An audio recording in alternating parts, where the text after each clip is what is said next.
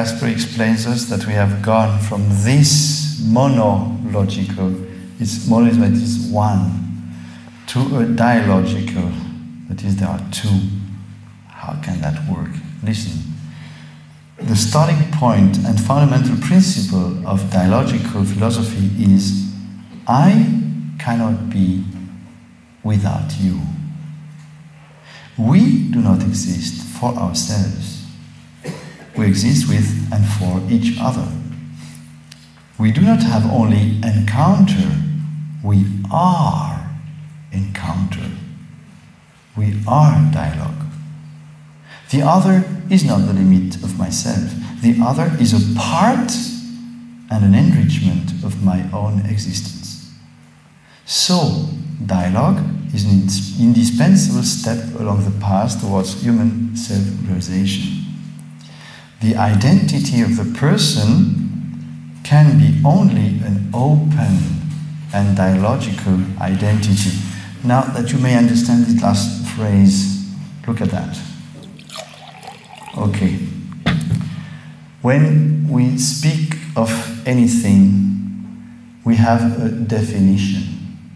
What is a definition? The word definition, you have finis. Finis, that means the end, the border. Whenever we give a definition, we give the limit of the thing so that we can speak about it. And when we give these limits, we can say what it is. So, you see here that you have water. Now, this water is, uh, hand, well, is in that glass because it is it has its identity, I may say, and it is a closed identity. I can easily speak of this water because it's in these uh, limits there. Now, what is an open identity? Just break the glass and you'll have it.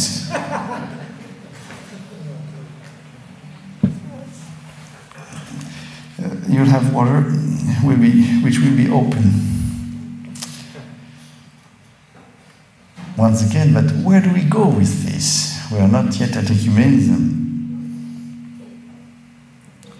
Such dialogue is not only essential and necessary for individuals. Dialogue concerns also nations, cultures, religions. Every nation, culture, religion has its riches and its gifts but also its limits and its dangers.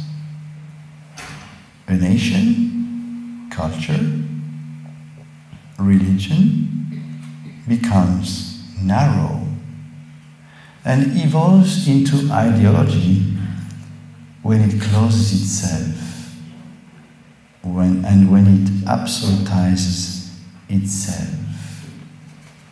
Now, I know a religion which is absolute. It's the one which says, I am the only true one. You heard Kasper? Such a religion which says, I am the true one becomes narrow and evolves into ideology. Do you think that Kasper has the faith? No way. He could never say that. And then the other nation, culture, religion becomes the enemy.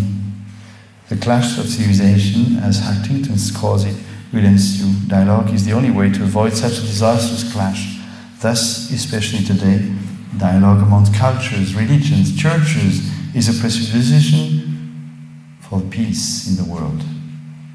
It is necessary to pass from antagonism and conflict to a situation where each party recognizes and respects the other as a partner and does not try to impose its own interests and values. You heard well? You have here the principle of ecumenism and also a declaration of war against the Catholic Church. You have it here. In one word, ecumenism is only possible when the Catholic Church renounces its exclusivity.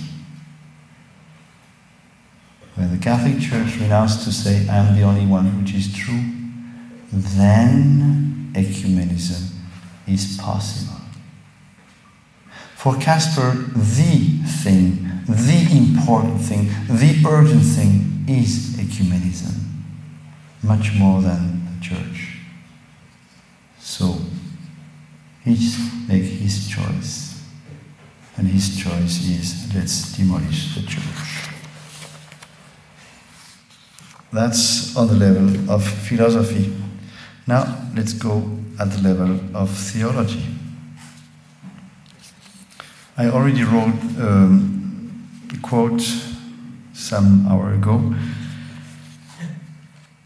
The decisive element of the Second Council, Vatican Council's ecumenical approach is the fact that the Council no longer identifies the Church of Christ with the Catholic Church. So this identity is demolished. You see, it goes very far when we just read the words and reflect about them.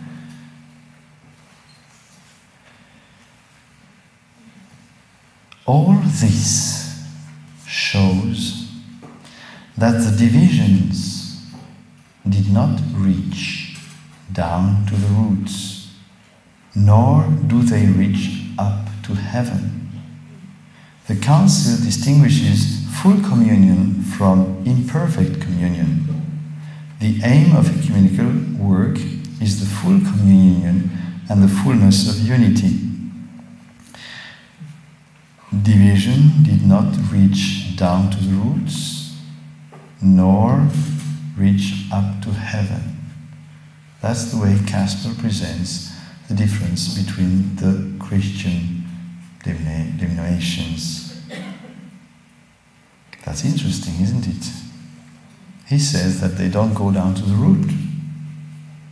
That means that so there is we have common roots and common heaven. Well, let's start with heaven. How does that work? Well, it's simple. God up there in heaven, looking down there to his on his children. Well, according to Kasper, God will recognize in all these Christians his children. The whole the same family. Of course, he does also see that they are divided. He's not happy with that. Division in the family is never a happy thing. But well, they remain the same family. He's the father of all Christians. Division do not reach heaven. Now, how can it work that they would not go down to the root? Listen.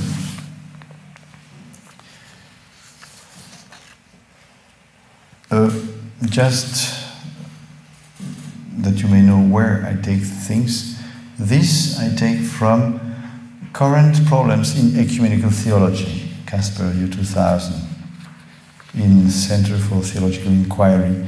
What I'm going to quote now, I take from a conference 20th of February of this year in Moscow, Moscow.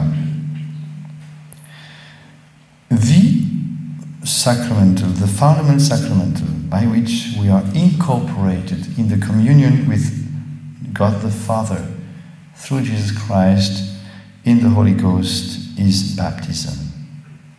Through it, as the Apostle St. Paul says, we are incorporated in the body of Christ. Even if we belong to different ecclesial communities, through the baptism we are in already in a deep spiritual communion, though imperfect. This communion of man, no, excuse me, this communion, man cannot destroy it. It is stronger than the might of sin. The union with Christ for Kasper is stronger than the might of sin.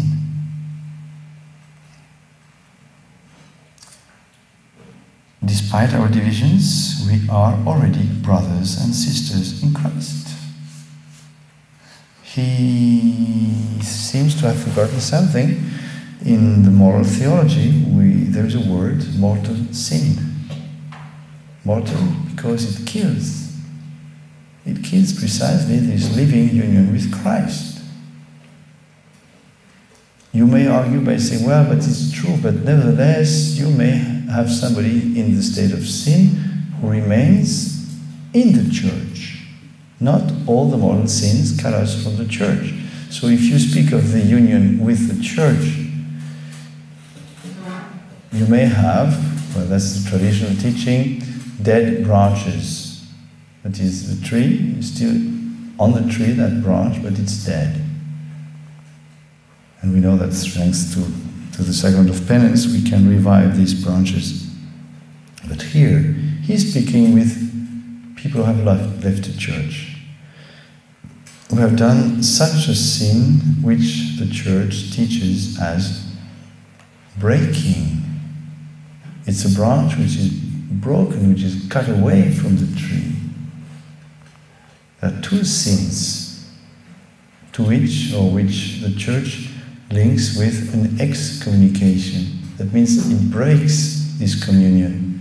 It's the sin of heresy, it is against the faith, and schism. Schismatic and uh, heretics, not only they are making a mortal sin, but they are cut from the church. Kasper does not know that. The communion is stronger than the might of sin. With this, he has established a very interesting principle now, principle of ecumenism. That is, we have something, all the baptized would have supposedly something in common, and absolutely in common, where you cannot say that somebody is in better shape than the other. Because if you are united with Christ, that's great. That will be the root. The root which the division will not touch. As up there in heaven, you have also something in common. It's the Father of all. So the division are just in between. He will say in this conference in Moscow that it is only political, it's only sociological, it's, it's not, not moral does not touch God. You see, once again, but where did he get these ideas? Have nothing to do with the faith. It's not Catholic. Absolutely not. But he explains us that that's, that's the root of ecumenism. Now, you accept these principles. Next step how are we going to uh, supersede these divisions? If we have such a thing in common, that means, as he said there, we are partners. If we are partners, that means that we have all of us to work for this unity. And this we start by looking not on the other, but on ourselves we start to looking whether we do not have something which is hurting the other. And if we want to be together, we have to kick out what is hurting the other. Now I read Kasper again. Besides, the Council is aware of the sinfulness of the members of its own church and of sinful structures existing in the church itself. In the Creed, we say, I believe in the Holy Church. Kasper says, I believe in the church of sinful structures. Do we speak of the same thing? And it knows about the need of reforming the shape of the church. The Constitution of the Church and the Decree of Ecumenism state expressly that the church is a pilgrim church and Ecclesia, oops, in Semper Purificanda, which must constantly take the way of penance and renewal. Thus, the ecumenical dialogue fulfills the task of an examination of conscience. Ecumenism is not possible without conversion and renewal. Look at that. Conversion. But he said it was finished now, conversion. It's no longer conversion. Yeah, no. It's not the conversion of the other, it's the conversion of ourselves. About what he speaks there. Now, how is the Catholic Church going to convert? First, I just continue the reading. The ecumenical aim is therefore not a simple return of the others into the fold of the Catholic Church, nor the conversion of individuals to the Catholic Church. Even if this must obviously be mutually acknowledged, mutually acknowledged. Conversion in both directions when it is based on reasons of conscience. In the ecumenical movement, the question is the conversion of all to Jesus Christ.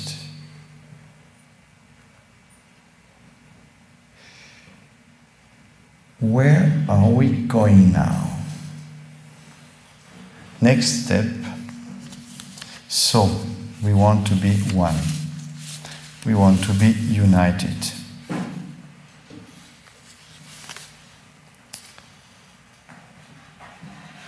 But there are divisions. This ecumenism will say this division, not only those who have departed are guilty, we also are guilty. That's why they have begged for forgiveness. All these uh, uh, forgive, forgive, forgive, they are based on this idea we are guilty. But now this guilt is not only, they say, actions. They are, as you heard, structures. That means that for them, in the Catholic Church, you have a lot of things which are repelling, which are dividing, as they say. They, they speak of church dividing difference things in the Catholic Church which are bothering the Protestant, the Anglican, the Orthodox. And of course, if we want unity, then we have to get rid of these elements. If you think that here I am building up my own theory, I will just quote Bugnini when he made the new Mass. 1964. The council is not even finished. He has just been appointed responsible for making the new Mass. And he will say, the prayer should not be, cannot be an object of scandal. He cannot hurt the others, the prayer. Think a little bit. That's why we are going to take away from the Mass everything that might appear like the shadow of an obstacle to our separate brethren. Might appear like the shadow of an obstacle. What remains? What will remain? Very simple. They have taken away everything that was specifically Catholic all the flavor, all the what was tasty, what was Catholic in it has been washed out. taken away. And that's Bugnini, 1964. He's already applying these principles of this modern ecumenism. That's why we have this very tremendous feeling of emptiness when we see the new Mass. It's because they have emptied it. And to be sure of their job, they called in Protestant experts to be sure that really nothing is hurting them. They wanted their, their expression of their feelings. And here you have it. This, all this was very official. You had even in the Osservatore Romano a photograph of the Pope with these uh, Protestant experts. You have it. It's very clear. And this was done in the name of ecumenism. And this work of ecumenism these modernist people they are not going to just let it at the level of the mass. They will throw their projector, their beam, on the whole church. They will look at all the edges, everything that is hurting, that is church dividing, as they say. They are going to take away. In the conference given by Kasper to the Anglicans last year, 17th of May 2003, he explains that. It's a striking, it's a gorgeous conference because it's clear. It's clear. He will develop, he says, well, there's a problem with, with ecumenism. Ecumenism, there's a problem. There's, we don't move anymore. We are just, there's a crisis there. And so his proposal to get, to go ahead, his proposal is a key, is a word, unity in pluriformity. Pluriformity, multiform. Um, to make it short, every different Christian denomination is like sticking to one geometrical shape figure. So you will have those who like the triangle, those who want the trapeze, the, I don't know, a polygon, a quadrangle, a quadrilatère, lozenge. As long as they stick to their different shapes, we will never have unity. So how are we going to get to that unity? There is a way. Let have everybody agree that their shape is circular like. If everybody agrees that their shape is like a circle, then we will have a principle of unity. What I say may seem totally crazy, and it is. But the problem is that they put that in effect. If you don't want to believe me, then listen to that phrase. Prior existing divisive contradictions were transformed and reconciled in complementary assertions, expressions, concerns, and approaches.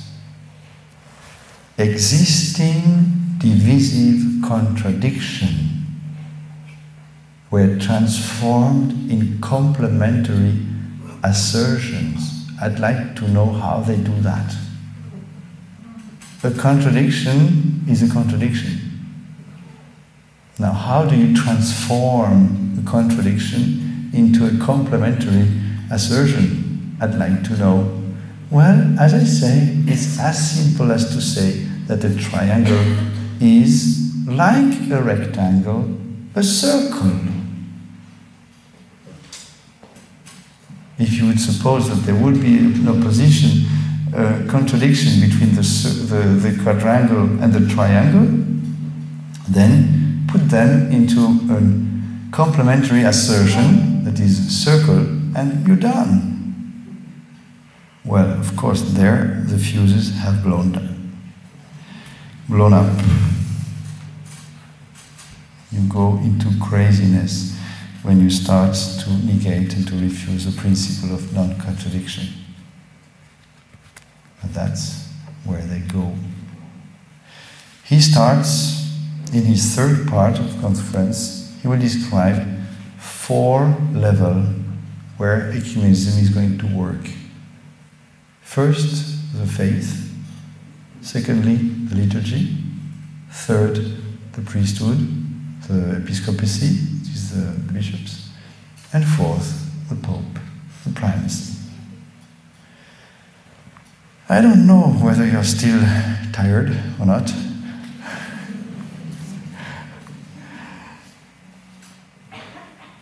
I will not go to everything, but just give you some quotes. First, this concept of pluriformity within unity has consequences for our ecumenical vision. Firstly, it has consequences on our understanding of unity in faith. Yes, how can it be? You see, the purpose of ecumenism is that everybody be one. Now, at the level of the faith, obviously, the Protestants, even amongst themselves, have hundreds of different faiths, different doctrines. So, how can we get to the unity? To confess the same faith, says Kasper, does not necessarily mean to confess the same creedal formula. He means by this, well, we may have other creed. The important is not to have the same creed. No, we may have different creeds. The important is that we have through it the same faith, which is a real circular quadrangle. And it's exactly the contrary of what the church has always done. Whenever the church wants to be sure that somebody is Catholic or has the faith, she requests the profession of faith. We have what we call the apostolic symbol. That means this creed, which was prayed by the apostles, that's the creed we pray in the Rosary the Apostolic Creed. We have in the Mass what we call the symbol of Nicaea, Constantinople. This creed, which was written by the, the Council of Nicaea, the first council, 325. That's what we profess, just to show that we have the same faith. The only way to show that we have the same faith is to have the same creed. It's so obvious. Kasper is going to tell you here exactly the contrary. To say have the same faith does not mean to have the same creed. And now, if you look at the way the church acted, whenever there was a heresy, what did the church do?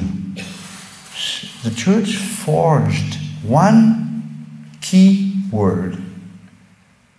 And this word was, so to say, the stone Either you accept it or you refuse it. There was no way to escape.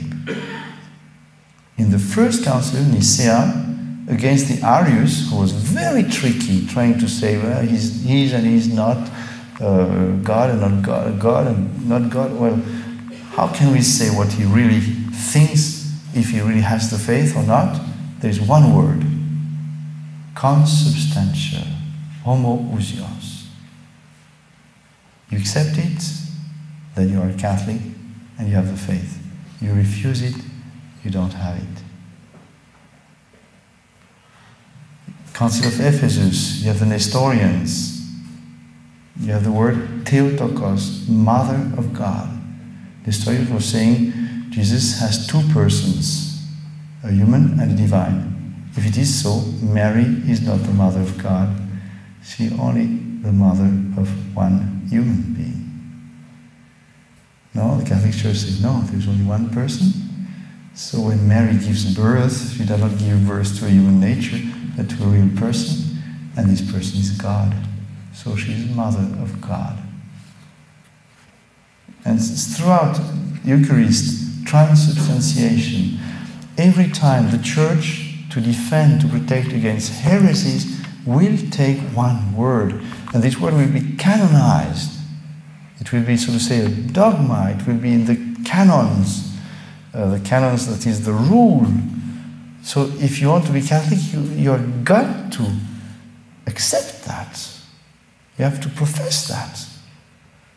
Kasper says exactly the contrary. And at the level of the faith.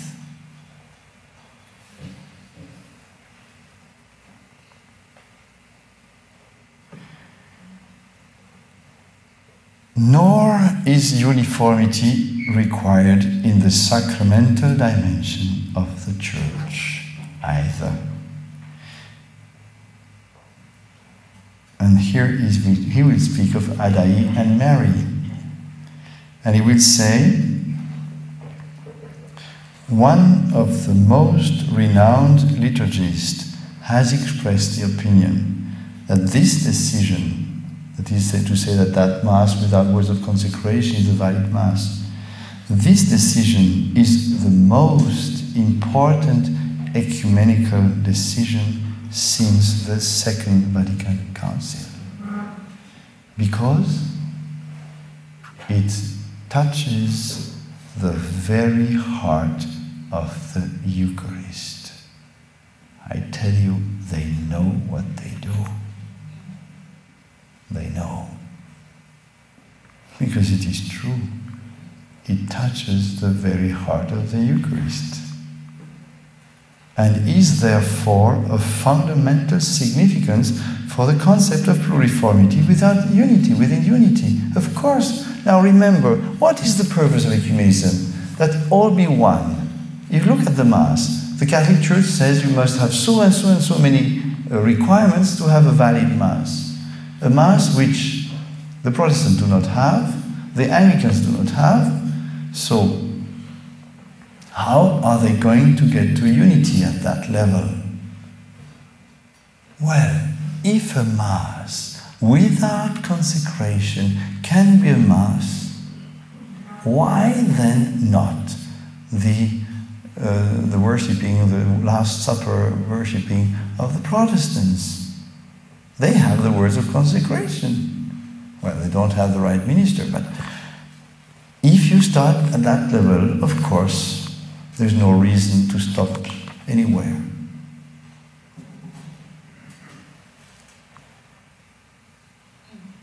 The core challenge for this concept and this vision and the sticking point in this question of how far pluriformity is possible is to be found in the question of church ministry. The ecumenical dialogue seems to be blocked in this issue at present. Hence, here we touch upon one of the most sensitive points of the current ecumenical deb- debate. This is all the more relevant as mutual recognition of ministry is fundamental for Eucharistic sharing. Once again, what is the problem of Kasper at the level of the priest? Well, if we want unity, of course we must have all the ministers of all the Christian denomination be able to come and get together and concelebrate. But for the time being, of course, once again, the Church, Catholic Church says, well, you need this and that to have a priest, and uh, says the Anglicans don't have, the Protestants don't have priests. So how are we going here to have unity? Kasper goes very far at that level. He will not stay at the level of the priest, he will look at the bishop. Why? Because the bishop has the fullness of the priesthood. I quote again As, how are we, how can we overcome this problem? As I see the problem and its possible solution, it is not a question of apostolic succession, in the sense of an historical chain of laying on of hands running back through the centuries to one of the apostles. This would be a very mechanical and individualistic vision, which, by the way, historically could hardly be proved and ascertained. Here he says the Catholic view, but I would prefer to say the Kasperic view is different from such an individualistic and mechanical approach. Yes, how do we have bishops today? We have bishops today because they have received, through the imposition of the hands, the powers from a previous bishop, from a previous prominent, up to the apostles. That's what we call the apostolicity. And Kasper says, no, no, no, no, no. That's too mechanical. That's too, as you say here, individualistic. So, he says, its starting point is the collegium of the apostles as a whole. Together, they receive the promise that Jesus Christ will be with them till the end of the world. Now, here you have to fasten your seatbelt. So, after the death of the historical apostles, they had to. Now, who is this they? Who, after the death, I continue the phrase. So, after the death of the historical apostles, they had to co opt others who took over some of their apostolic functions.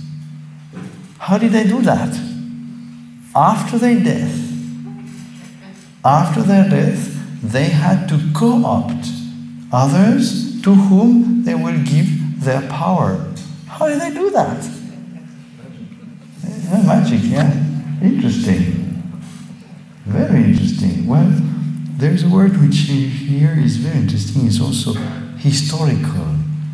After the death of the historical apostles, did you ever knew of other than the historical apostles? So, who are they? Anyway, in this sense, the whole of the episcopate stands in succession to the whole of the collegium of the apostles.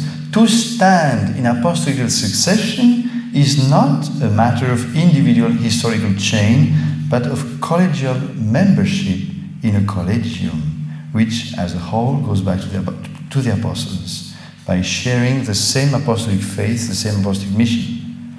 The laying on of hands is, under this aspect, a sign of co optation in a collegium. In other words, what is Kasper telling us here?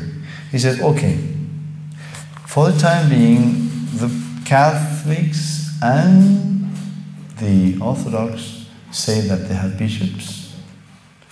They say that the others have no bishops. That's a problem. How are we going to have everybody share the same power?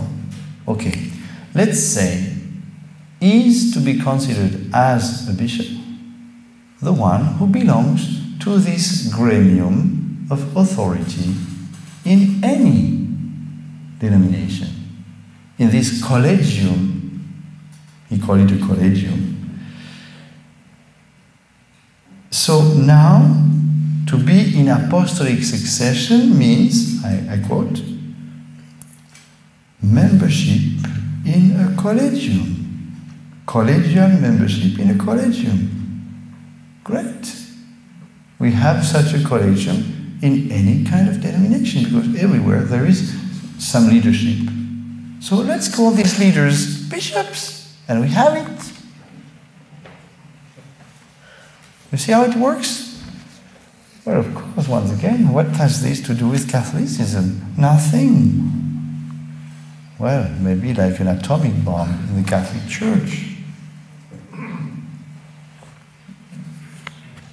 But the last I quote again before venturing further in this decisive point for the ecumenical vision, that is a renewed communio ecclesiology, I should speak first on another stumbling block, or better, the stumbling block of ecumenism, the primacy of the Bishop of Rome. Or, as we say today, the Petrine ministry. Yes, what is Kasper going to do with the Pope? How is he going to deal with that one? Because this one, it seems, it's only the Catholics who have it. So, how are you going to do with this one?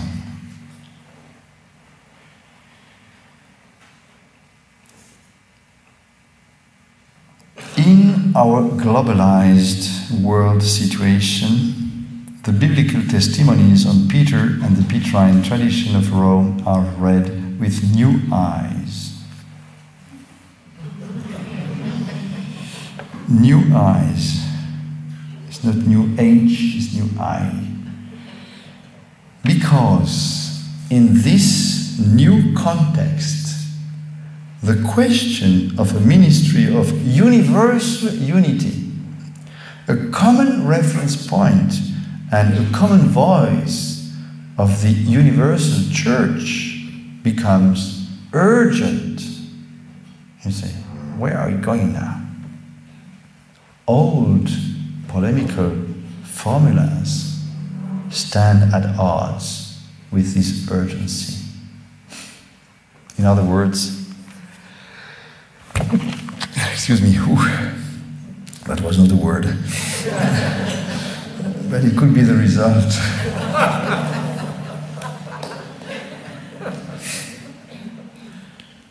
Old polemical formulas. That means the dogmas. That's the polemical formulas. Old polemical formulas stand at odds with this urgency. Fraternal relation have become the norm. So, what is now important is be nice. Extensive research has been undertaken that has highlighted the different traditions between East and West and has traced the development in understanding and practice of the Petrine ministry throughout the centuries, as well the historical conditionality of the dogma of the First Vatican Council, which must be distinguished from its remaining obligatory content, has become clear maybe for him. A curious distinction the historical conditionality and what remains obligatory in the dogma is now clear for Kasper. This historical development did not come to an end with the two Vatican Councils that goes on. And so also in the future, the Petrine ministry has to be exercised in line with the changing needs of the church. So the church is changing, the needs of the church are changing, we are going to change the Pope accordingly. Which is very funny, is you may have noticed that the argument which is used there. He says, okay, now it's clear we can distinguish something which is historical, the historical conditionality, and the remaining obligatory part. When you say so, very clearly you say the historical conditional thing is something very superficial, and the remaining obligatory, that's the essential. That's the first phrase. Then he continues by saying, this part which is superficial continues to change. Conclusion, we have to change everything. You see, he's, there's a swift there in the, in, the, in the reasoning. And look now where he comes. These insights have led to a reinterpretation of the dogma of the Roman primacy. This does not at all mean that there are still not enormous problems in terms of what such a ministry of unity should look like, how it should be administered, whether and to what degree it should have jurisdiction. So Kasper does not know whether and to what degree the Pope has any power, because jurisdiction means power. That's what he called reinterpretation of the dogma. And whether, under certain circumstances, it could make infallible statements. So Kasper does not know whether, under certain circumstances, the Pope could make infallible statements. You see how far he goes?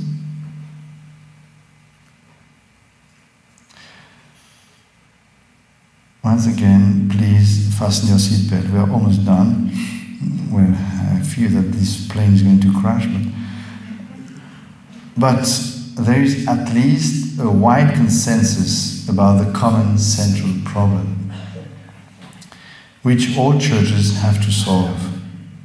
How these three dimensions, highlighted already the, by the Lima documents on baptism, Eucharist, and ministry, namely unity through primacy, collegiality through synodality, synodality, and communality of all the faithful and their spiritual gifts can be brought into a convincing synthesis.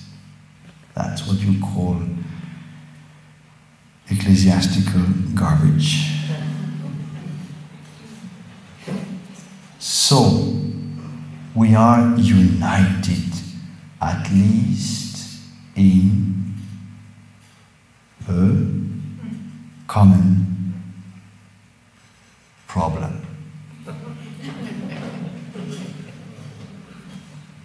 That's the conclusion of Kasper. after having gone through the whole town with his bulldozers, having kicked down everything, so now we are united, at least in a common problem. Though the answers still differ. To find a common answer is one of the main problems which you are faced with and a challenge requiring further clarification which I'm going to um, uh, say not to share, but to the contrary.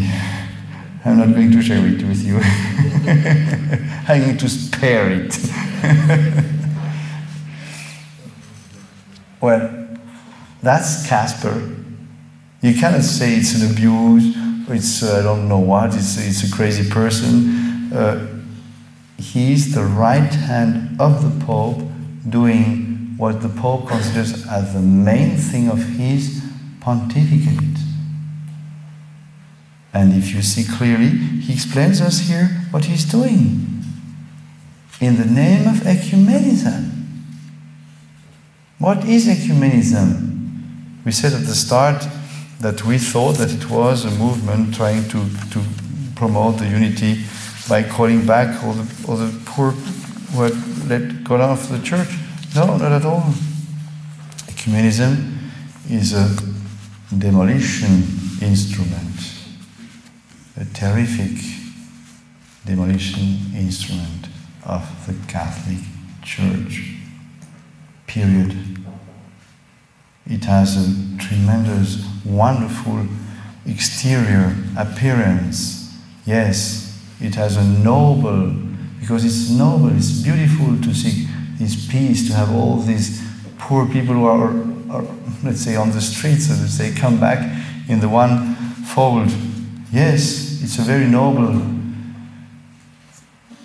fight under the name, under the appearance of this noble um, function. They have introduced a tremendous, horrifying demolition system. Its name, ecumenism. And look, look at the church. Look at the shape of the church today. This work is already done in great parts. Church is empty. Everywhere, disaster, demolition. The work is done. The Pope himself, speaking of Europe, is going to speak of a silent apostasy. He uses the words. He laments on that. They have caused it. You know, when we try to tell them that, well, of course they don't like that, but they say, no, no, no, no, no, no. It's, it's the world. It's the influence of the world which has done that. And we answer, when you see your carpet wet, you don't say it's the rain who did it. You don't say it's the storm who made that. You said, Who is that silly person who let the windows open? At the beginning of the council, John the 23rd said that he wanted to open the windows of the church to the world. They knew in 62 that the revolution of 68 was coming. They knew that there was a storm coming, and they did exactly the contrary of what any sensitive man is doing when the storm is coming. When you have your home, you just go around all the windows to just check that they are well, well, well closed when the storm is coming. And you don't open them. That's what they have done. Now they can lament. It is true that these principles are the principles of the world, but when you do make them come in, then you cannot lament that the damage is done. Yes, this is what we are facing. These, I may say, are the persons we are dealing with. Well, not exactly, because I can tell you, Castrillon does not like Kasper at all. But nevertheless, what can he do against? What does he say against? Nothing. Which remains the same. We cannot just forget the others and say, well, let's, so let's deal with only Castrillon. No, we deal with Rome. And obviously, Kasper is a part of Rome. And that's why we're not going to make agreements as long as the situation is such. We say no. We say first, step down from this ecumenism, come back to the normal Catholic Church, and then we will speak about agreement. I, I, in this letter to the, to the Castrillon, I, I wrote, and I will finish with this. At baptism, we enter into a contract with the church, which is expressed from the first, first phrase of baptism. What do you ask from the church? And the answer is the faith. What does faith give you? Eternal happiness, eternal life.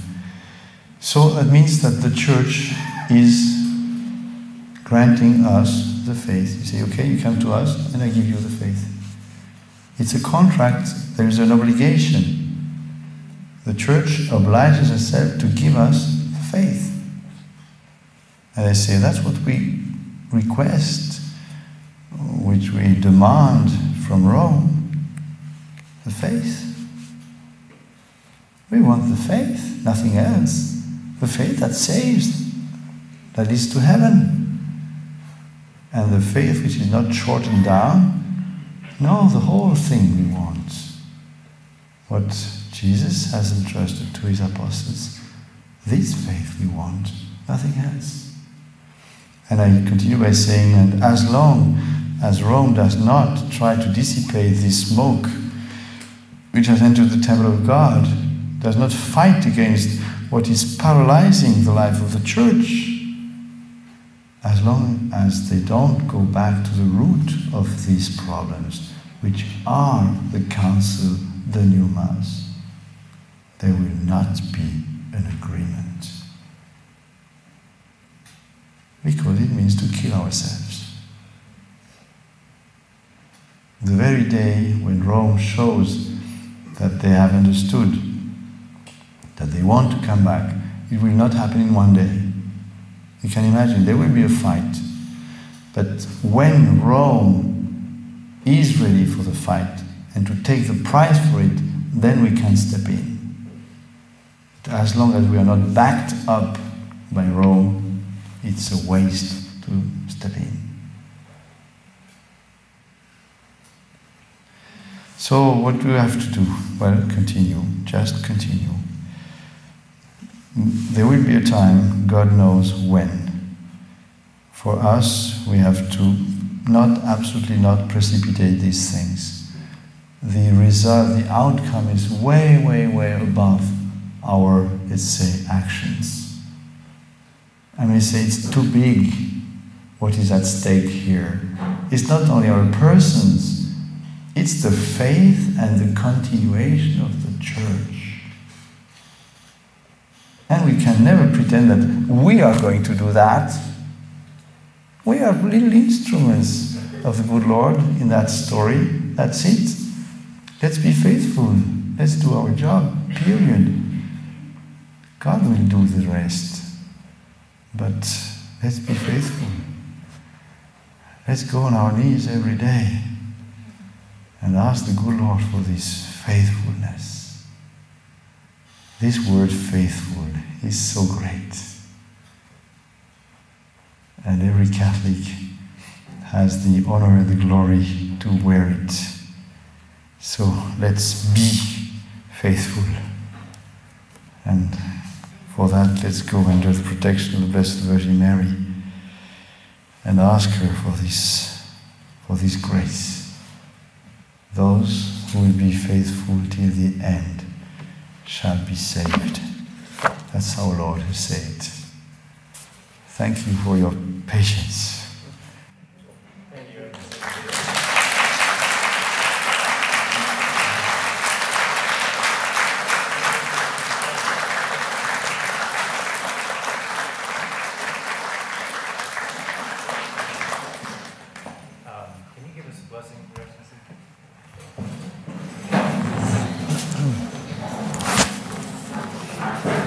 Amen Domini benedictum.